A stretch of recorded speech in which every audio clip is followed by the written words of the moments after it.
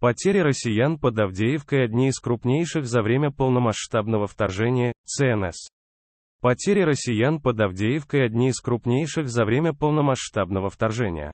Это приводит к тому, что личный состав РФ деморализован. Об этом сообщает РБК Украина со ссылкой на Центр национального сопротивления. Российские войска несут рекордные потери в попытках захватить Авдеевку, сообщили в Центре. По информации от подполья, деморализация среди личного состава оккупантов ощутимо растет. На Авдеевском направлении наблюдается снижение морально-психологического состояния и боевой способности среди военнослужащих оккупационных войск из-за активных мясных штурмов российского командования. По имеющейся информации, среди представителей российско-оккупационных войск потери личного состава являются крупнейшими с момента полномасштабного вторжения РФ на территорию Украины. Потери именно на Авдеевском направлении за последнюю неделю около 5000 среди личного состава.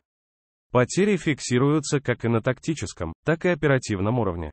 Россияне потеряли сотни единиц техники, отметили в ЦНС, ситуация остается сложной, но контролируемой силами обороны Украины, известно, что 74-я и 114-я отдельные мотострелковые бригады ВСРФ фактически потеряли боевую способность, бои за Авдеевку. Российская армия начала наступление на Авдеевку в начале октября. В ходе штурмов она теряет значительное количество техники и личного состава.